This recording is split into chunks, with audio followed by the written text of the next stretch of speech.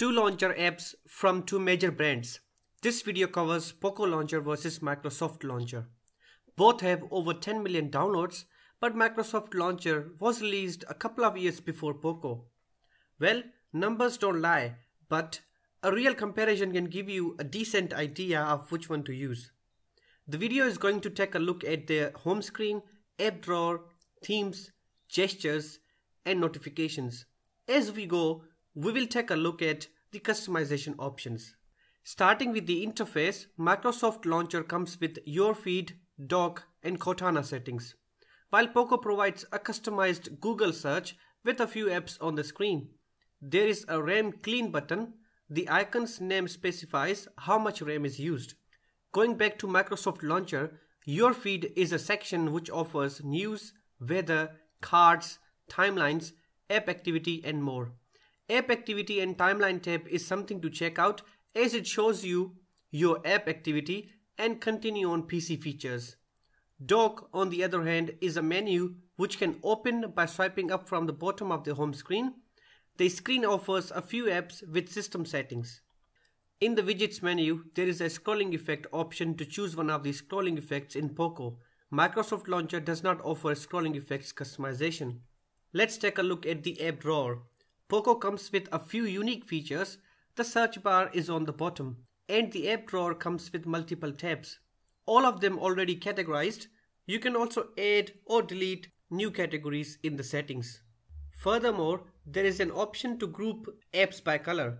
The feature is only visible in the main tab and touching on each color displays that color applications. The first row shows the most used and recent applications, but you can disable that in the settings. Meanwhile, Microsoft Launcher shows recent as well as newly installed apps on the top. The launcher may not offer categorized tabs, but it comes with hiding apps feature. The app comes with options to hide applications from the app drawer and search results too. You can also set the passcode to protect those hidden apps. Moving to gestures, gestures have made navigation easy, but Poco does not offer them. The app only comes with an option to lock the device on double tap. The other one comes with gestures and it even supports Android 10 gesture features. Let's take a look at what gestures Microsoft Launcher supports and what can we do with those gestures. The launcher supports gestures including touch, home button, swipe up, swipe down and some more shown in the picture.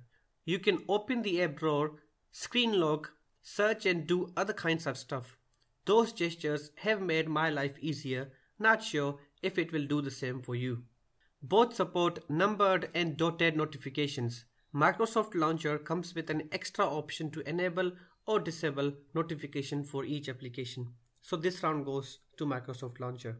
Moving to themes, you get a light and dark theme with both with an option to adjust the transparency. The second one offers to use the system and a separate transparent theme where you can adjust brightness and opacity along with transparency. Poco provides an option to change the transparency in both light and dark themes. So, what are some of the rare features which might make a difference? Always there are some unique features in each application which makes it different from other same type applications.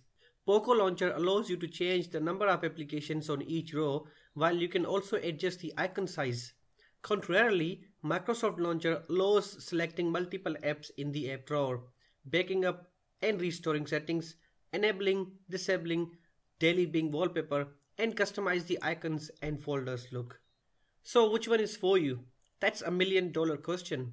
Regarding the features and functionality, I still prefer Microsoft Launcher. Poco is still new and has limited features compared to the other one. Poco believes in simplicity and if you are looking for something simple and easy to use, then Poco is your choice. Microsoft Launcher has extended customization functionalities. If you're looking to personalize your phone as much as possible, then you should go with Microsoft Launcher. Anyway, here is the end of Poco Launcher versus Microsoft Launcher comparison. Thanks for watching. I hope you enjoyed this video. If it helped in any way, please like and share this video and subscribe to my channel for more videos. Thank you.